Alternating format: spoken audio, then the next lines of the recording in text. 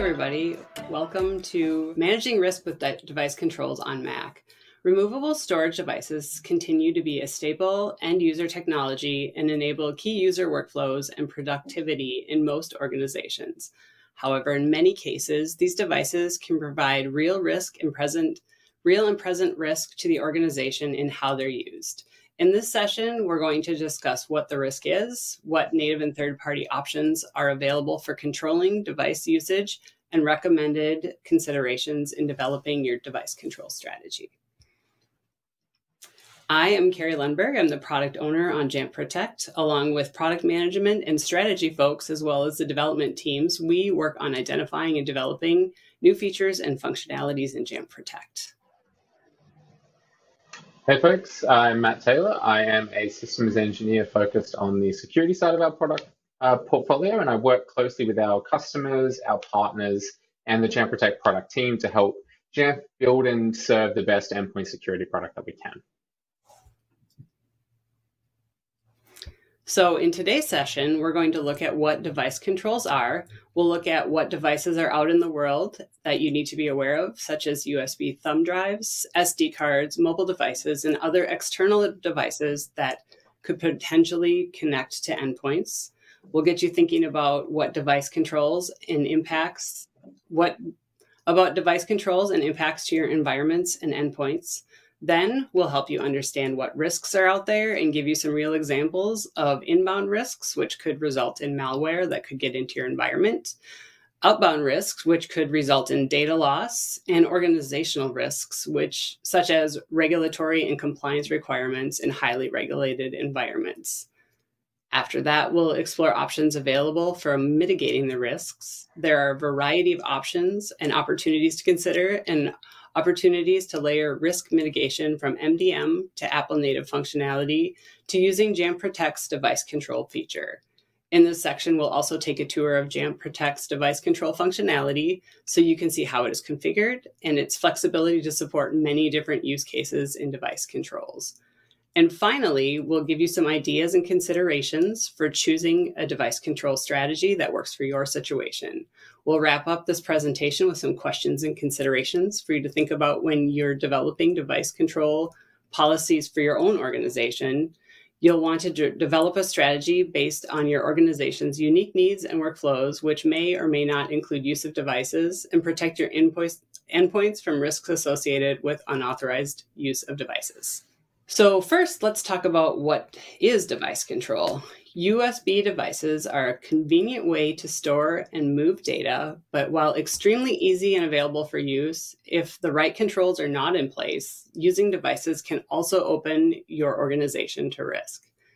We know many users in many environments need access to devices to perform day to day work tasks, such as transferring large data files or handing off data securely. And that's just regarding removable storage devices, N- not the many of other types of devices users are commonly want or need to use in their daily operations.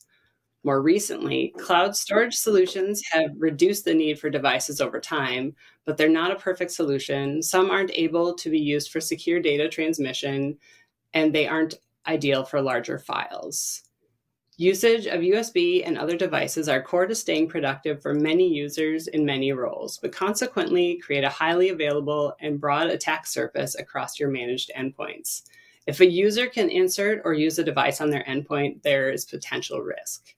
The broader the attack surface, the larger the potential risk, and the more thoughtful we need to be with the policies and solutions we put into place for mitigating that risk. Policies and solutions are commonly called device control. They effectively they are effectively a protective measure that allow an IT or security team to monitor and control the use of devices on endpoints in their environment with the main goal of ensuring, ensuring that only safe devices are used on approved used in approved circumstances.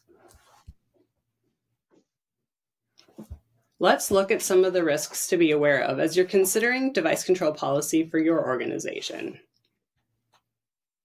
So, inbound risks, these are risks to your device, your network, and ultimately your business. Sh- should malicious files be introduced to your environment by a removable storage device?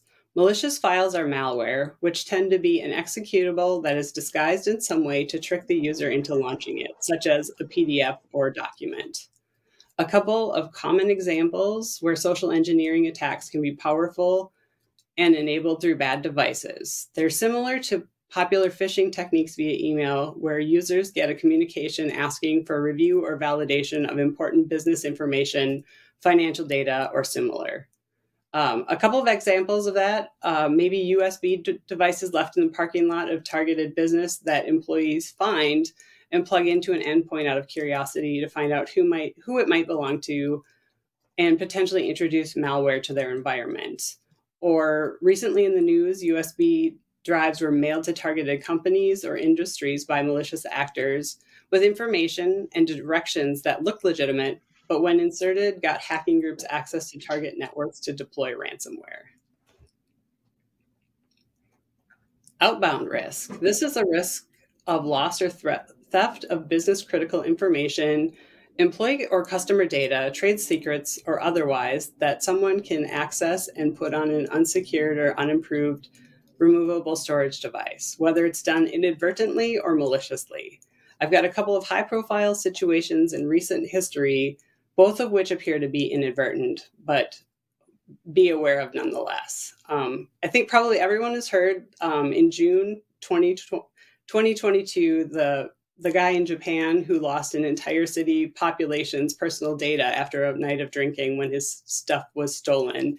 It included names, birth dates, and addresses, as well as tax details, bank account numbers, and people receiving Social Security. Uh, fortunately, the drive was encrypted and password protected, and to date, the missing information hasn't surfaced anywhere. And another example was in October 2017, a USB device was found in the streets of London. It contained maps, videos, and documents, including details for protecting the Queen, and the device was unencrypted. Because the device was unencrypted, the person who found it was able to get all the details off the device had the organization had some kind of an encryption policy in place, this could have been prevented. Another outbound risk is the introduction of a malicious device that can steal data from an endpoint. This is known as rubber ducky used by a malicious actor. It looks like a USB device, but is quickly able to get critical information off the endpoint, such as cached passwords. And now a new, more sophisticated version of this ducky can run a test to see if it's been plugged into a Windows endpoint or a Mac endpoint, and then condition, conditionally execute software, execute code appropriate to one or the other. And the last risk we are looking at is organizational risks. Some industries, such as government, healthcare, and financial organizations, have higher regulatory requirements that they need to meet, including limiting use of devices. The organizational risk for not complying with those regulations are potential security and or financial risks associated with with that for the business. Examples of a compliance framework requiring controls are the GDPR in Europe and CCPA, which is the California Consumer Privacy Act, both of which require devices be encrypted when used in environments impacted by these regulations.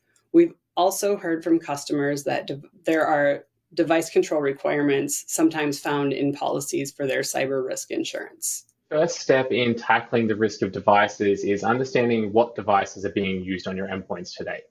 And if you were to conduct an audit of the different devices used within your organization, our expectation is that you would encounter uh, quite a wide array, some provided by your IT team, but many likely not.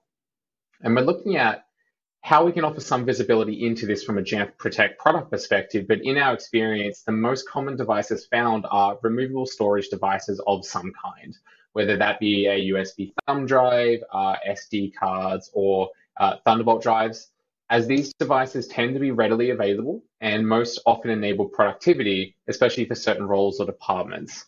However, we also see many users connecting their phones, whether to you know charge them or sync data from them, or accessories like keyboards and mice through the USB port. Printers are also still you know very very commonplace in the workplace, uh, as is usage of wireless transfer tools like AirDrop and Bluetooth. And each of these device types and more that we uh, don't actually have listed here present their own risk profile and should be considered within the context of your environment and users. Now, the, what we're going to do is really, uh, for the purpose of this presentation, focus solely on removable storage devices, mobile phones and tablets and accessories, as these are arguably the most commonly used and therefore the greatest potential risk surface.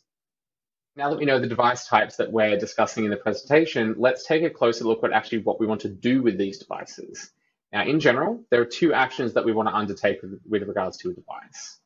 First of all, we may want to monitor the devices that are being used and what's actually taking place during the time that it's connected to the endpoint. This might be perhaps passive monitoring in order to keep the record of all devices and associated activity for auditing, uh, for proactive threat hunting, or reactive incident response.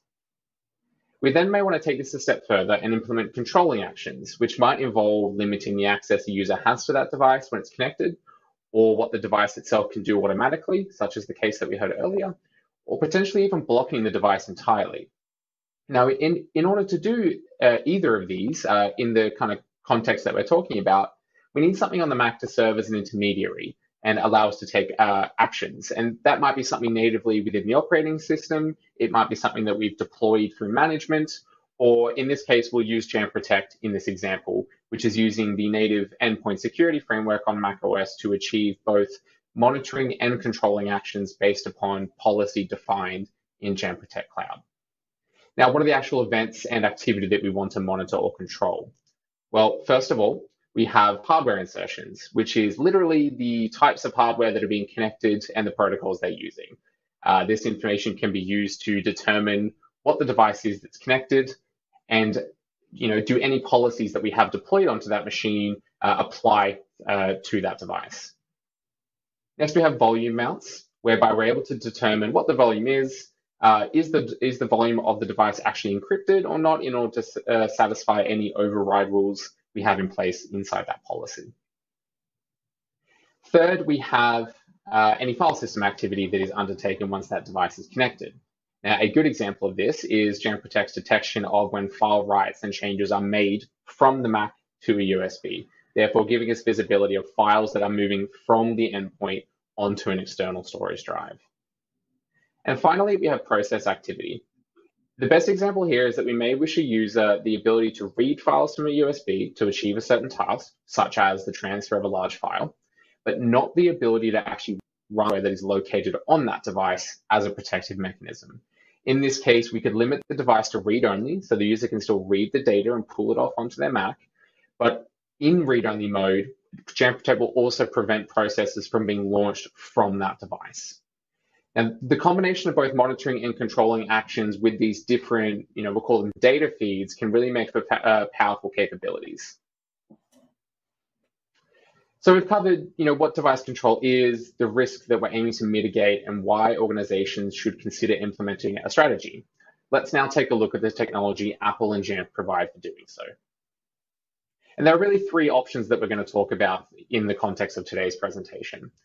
The two options on the screen there uh, for managing devices are available through Jamf Solutions. First through MDM with Jamf Pro on the left, and second framework on more modern macOS versions using the device controls feature of Jamf Protect. Thirdly, we'll also look at how the new accessory security feature included in the upcoming macOS Ventura release offers organizations a new range of user-driven capabilities to help address risk. Now, it's important to note that these are not the only solutions available to customers and community. Uh, there definitely are other solutions out there, but we're going to look at this through the lens of macOS native and Apple first technologies. So let's dive in. Now we'll start with controls available through MDM, mobile device management, uh, looked at through the lens of Jamf Pro.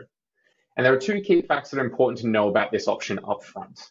Uh, as this capability is made possible through the MDM framework built into macOS, which Apple provides as a part of the operating system, it's therefore possible for any MDM solution to offer this value to customers. So when I'm looking at this through Jamf Pro, I'm doing that for, you know, the fact this is a Jamf presentation, but you should be aware that if you're using another MDM, you also have some, or you likely also have some of these capabilities.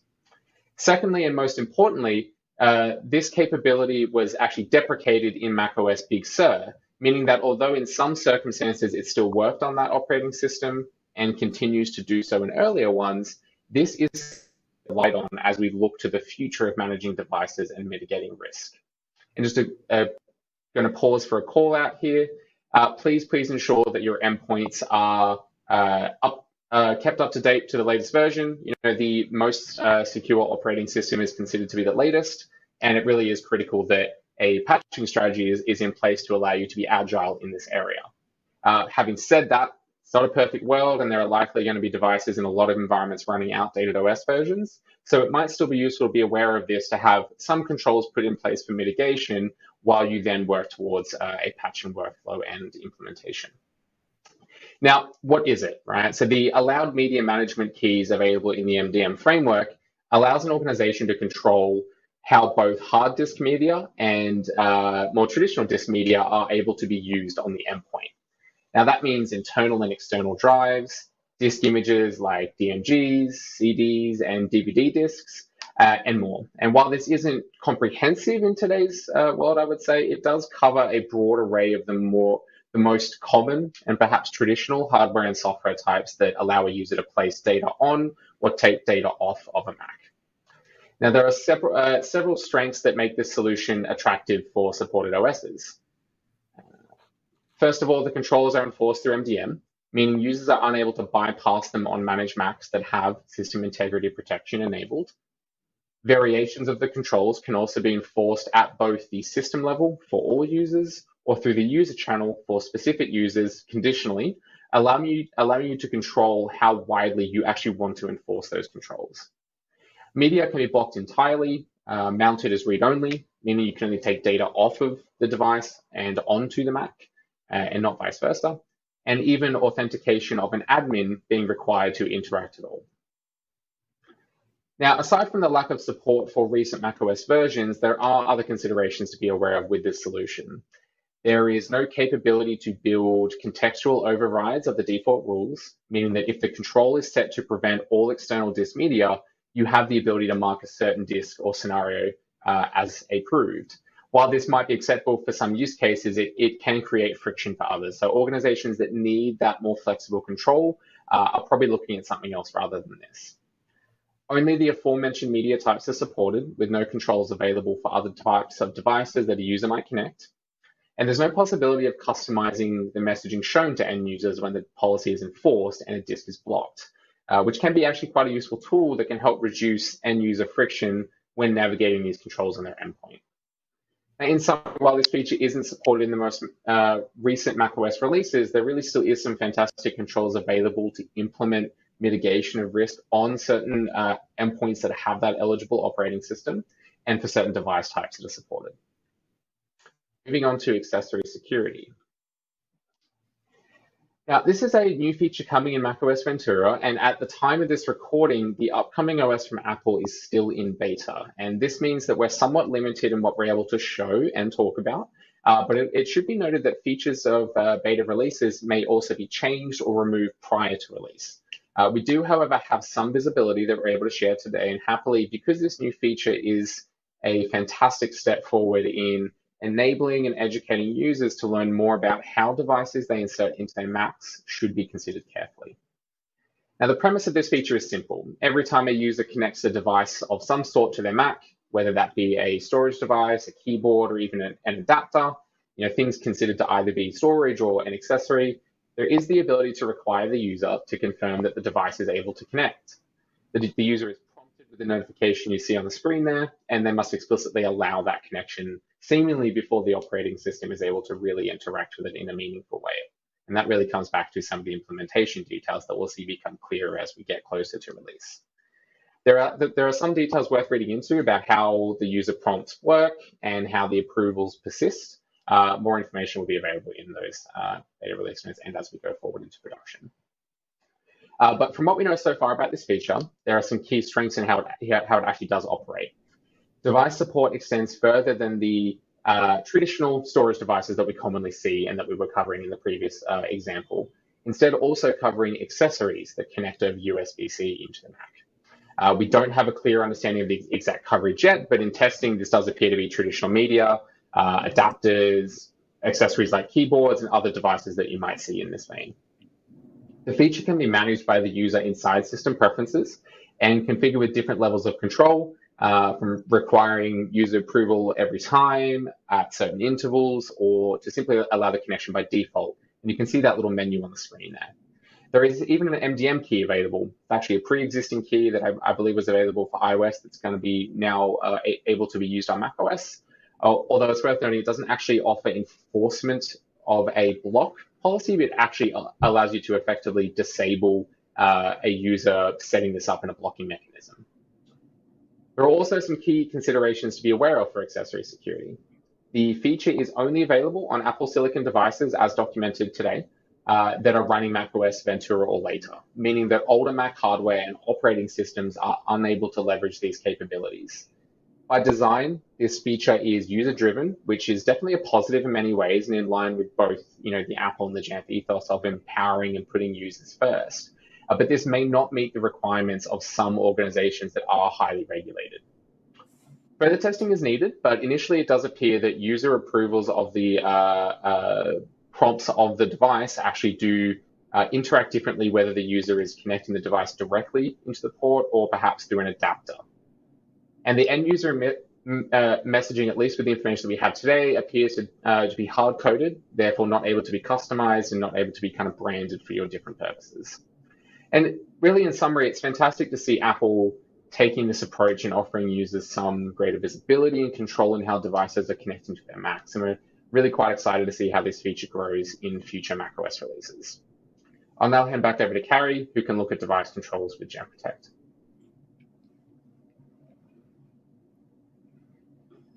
Thanks, Matt. Uh, now let's take a walk through the device controls feature in the Jamf Protect application. You can configure a policy or policies that meet the needs of various user groups or workflows within your organization. Protect's strengths are that you can set up an all encompassing device control policy that can block all removable storage devices or limit them to read only. This offers a highest level setting for any device usage on your network in the policies you craft which you can further customize with override rules, which we'll discuss in a second. It's supported for macOS Catalina and later. Uh, running the latest macOS is considered to be the best security practice, but we know that that is not always the case. Due to this, it's important to have device control that supports a range of operating systems running on your endpoints. There are versatile override rules to limit based on encryption status or vendor, product, or specific devices based on their serial number. Not only that, the feature can be deployed and managed on a per user or per group basis. This combined with override rules ensures that you can implement the right policies for the right users. End user notifications can be custom to suit your organization's needs and messaging requirements. The way we communicate with end users in the world of security is so important. We need to achieve our desired layers of security, but in a way that doesn't jeopardize end users' experience with their devices. For example, if we only want to permit encrypted devices and a user inserts an unencrypted USB device, we can communicate to them through the notification to explain why their device cannot be used and also direct them to internal resources or tooling to help encrypt their device and get them back to a productive state. Please be aware that the device controls apply to removable storage devices only at this time, which includes removable storage devices such as USB, like thumb drives, uh, SD cards for both Intel and Silicon Macs, and or external SD card readers that connect over supported USB protocols. Uh, just a quick note that the screen on the right shows what the device controls configuration looks like. We'll have a deeper look in just a moment. But first, let's look into some possible configuration scenarios. Device controls in Jamf Protect are created to be incredibly flexible to capture many variations in how an organization may want to configure and implement their device control strategy. This helps you mitigate risk where you can and enable productivity where it's needed. Let's look at some device control configuration scenarios. The first scenario, the user inserts a USB device on an endpoint. Jamf Protect recognizes a USB device has been inserted and validates it against the permissions configured.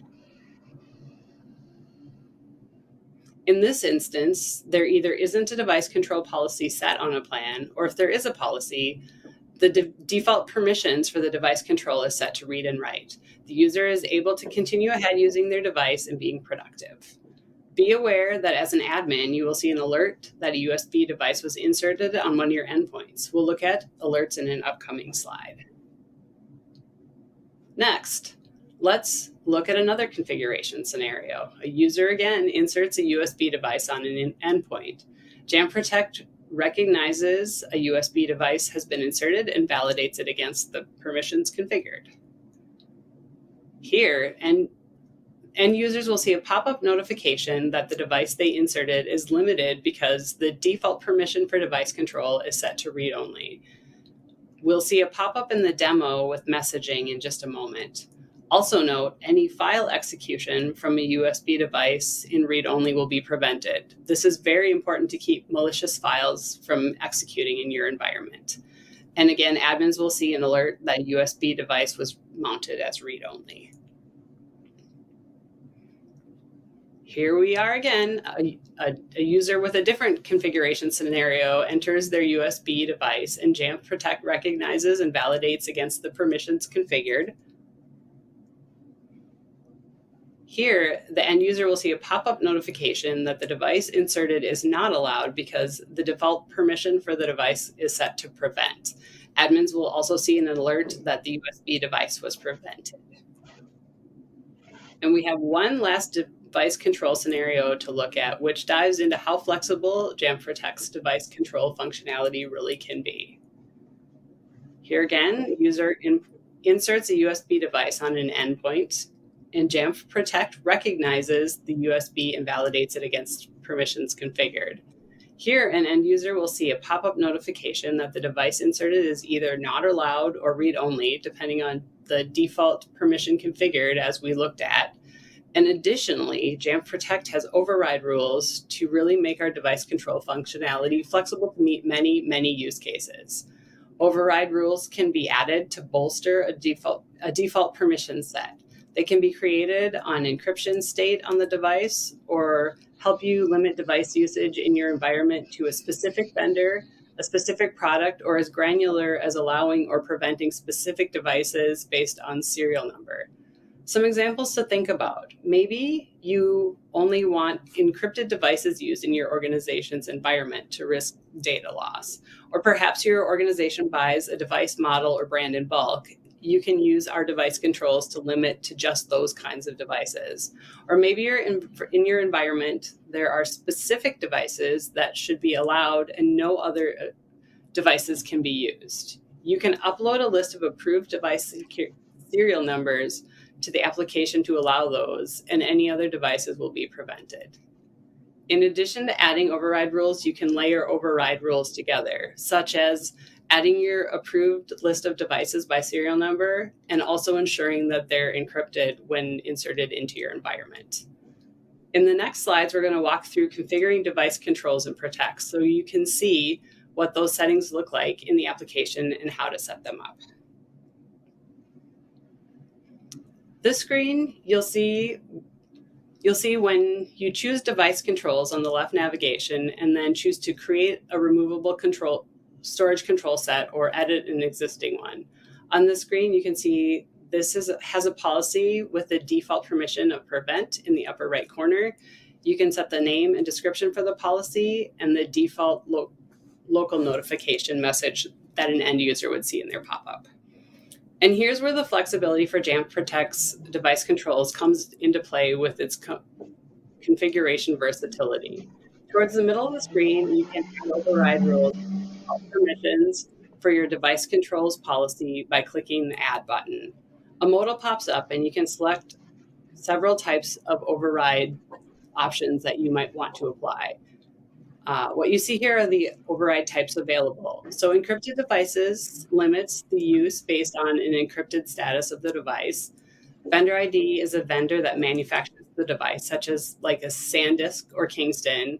The serial number is the unique serial number of a specific device, and product ID is the specific model of a device, such as a Kingston DataTraveler or Kingston DataTraveler Elite. Once an override is selected, you have the option to change the permission for the overridden characteristic. which can be read only, read and write, or prevent. If you if read only or prevent, a custom display message for that override can be set for for end users who encounter the control so they know exactly why they're limited or not able to use their device. And as, as mentioned, multiple overrides can be configured as needed to meet your organization's policy needs. So here is what a finished device control policy looks like. I'm just going to walk you through uh, what is going to be expected when um, when you um, put this policy into play. So the default per permission is prevent. You'll see that in the upper right. Name and description for the policy is set as well as a local default notification message. There is an override rule set on the policy for encrypted devices, which is set to read and write. So with this policy, what we would expect is any USB storage device that is not encrypted will not be allowed. The end user will see a pop-up when trying to use an unencrypted device. The Protect admin will receive an alert in the console that the unencrypted device was prevented, and any encrypted devices will be allowed. The user will have read and write permissions on those devices, and the Protect admin will see, receive an alert that that uh, encrypted device was mounted. And the very last step to complete a device control configuration is to associate the de device control policy with your plan. Only one device control policy can be associated with any one plan, but the same device control policy can be set on multiple plans. This allows the flexibility to have different device control policies and plans depending on workflows, use cases, within your organization. Putting that into practice, you might want a media or marketing team to have a more relaxed device control because of the nature of their work, whereas a customer support team may not need to use USB devices at all in the course of doing their work. With Jamf Protect device controls, you can set up plans and policies to accommodate both use cases. So, first, the employee gives their own USB device a, a, a try. It is not in, encrypted the endpoint is protected and the user is not able to use the USB device. They see their the pop-up that it's not allowed with the messaging set up in the device controls configuration. They are not allowed to do anything with that personal USB device or get anything off of their computer. And then next, the employee uses their company issued encrypted device. Because the device is encrypted, it meets policy defined in Jamf Protect so that the device is allowed and the end user is able to go about their work.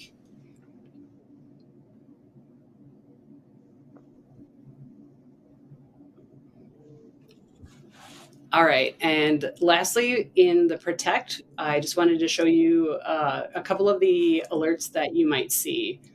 Um, when a prevent or read only policy is configured on plans, you will get insight into users attempting to use USB devices. There are a couple of alerts that are relevant to device controls functionality. This is one for when there's a prevent policy and the USB device is blocked. You can see that it's an informational alert because in the severity, uh, there is no dots filled in. The action was prevented and the status is auto resolved. It includes details about the device, such as serial number, product ID, and vendor ID, which could be useful when you're looking to set your override policies. These details could be used to create further granular override rules by specifying that device or set of devices. If the device controls policy is set to read only, this alert will trigger, but it will display as read only in the action instead of prevented. And here, Protect also has capabilities to see file system activities related to USB devices. There are two analytics here. This one is USB write, which alerts when content is written to a removable, removable external USB device. It doesn't matter if device controls are configured or on plans or not for this analytic to trigger an alert. This is an additional benefit in Jamf Protect's de detection capabilities, which provides visibility of file transmission from the Mac to removable storage device that has been inserted and is writable. Protect will log each and every file written to de the device, providing important auditing data. There's another alert that we don't have shown here that is USB inserted, which alerts when a removable and writable USB device is inserted. Again, device controls do not need to be configured for this alert to for this triggered for this to trigger an alert. And with that, I'm going to hand it back to Matt to discuss how to choose options for your own device controls and things to consider when defining a de- device control strategy for your own organization. Fantastic. Thanks, Carrie. Uh, now that we've looked through why would why we would want to define a strategy, what is device control, and what options do we have there, let's just uh, kind of work out how we best approach that. Now, I thought that might be helpful to review all three solutions that we've covered in, in a presentation through a brief summary uh, of the salient points for all three to help provide a higher level understanding of where and how they might need the needs of your organization. Now, again, please note that as, uh, as accessory security is still in beta, the comparison is based off of the information we have available at this time, and some of these details might change as uh, we move closer to that final release. So first of all, do each of these solutions support the latest macOS Ventura, which is going to come out quite shortly? Uh, we ran through it. MDM restrictions is not, so that rules that out as being used, but both accessory security, which is being introduced in that feature, uh, in that OS, uh, OS release, sorry, and device controls with Jamf Protect will be supported as we have a same day support commitment here at Jamf. Now that's your brand new devices or your devices that are updated. What about previous ones that might still be running in your environment? And just to double down, uh, we definitely want to make sure we're still getting those devices updated as the priority. Uh, but we will, you know, often encounter uh, situations where that might take time. Uh, so what options do we have for supporting uh, the uh, previous two operating systems prior to Ventura? So Monterey and Big Sur once Ventura drops. And device controls has got you there with side with Jamf Protect. Now, next up, are the controls enforceable? Right? Can we manage those through policies as an, uh, an IT or an InfoSec team? MDM, absolutely. That's the whole point of that framework. Uh, accessory security, we can actually do partially, but in effect, you're actually uh, setting the control to not prompt, so it's perhaps not as desirable. And device controls works through the endpoint security framework. The users simply cannot do it. They cannot violate that policy with Jamf Protect enforcing it. Uh, what are the controls like? Are they flexible? Uh, we ran through with MDM restrictions. We can do uh, read-only, block, read and write. Accessory security is a little bit more limited, so I've marked that as red there.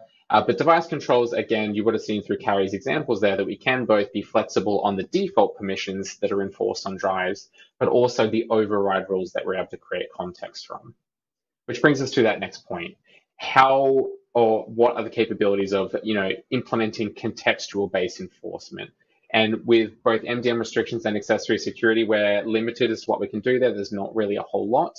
But as we saw with device controls, we can build quite flexible rules there to cater for the different needs of your organization, particularly with things like encryption state. Is the volume being mounted by that device encrypted? That tends to be something that we, we, we hear from a lot of customers as an ask. Does this feature support removable storage devices? So MDM restrictions obviously does, device controls obviously does as well. And uh, accessory security definitely does as well. Uh, from what we know of so far, there's no managed block, as we said, so you can't enforce a block. Uh, and you can't, uh, from what we can see, get support for SD cards as it does appear to be USB uh, only today. Although it would be worth noting that perhaps an external SD card reader might be supported there.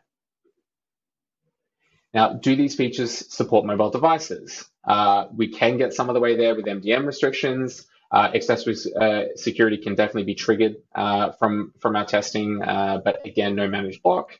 Uh, but device controls today only supports removable storage devices. So Jamf Protect will not able to be used to solve that particular need. Accessory support, can we can we control get uh, visibility of things like keyboards being inserted or things that are not you know typical storage devices or mobile devices? MDM restrictions, not a whole lot there that we can do with that uh, media allow list uh, set of keys. Accessory security, absolutely, uh, but again, there's no managed block. Device controls uh, is not uh, do not offer any support for accessories today. Now, when it comes to alerting and logging, really, really critical part here to get uh, for some organizations that really need this for auditing or compliance requirements. Uh, MDM restrictions, not, not a whole lot that we can do there.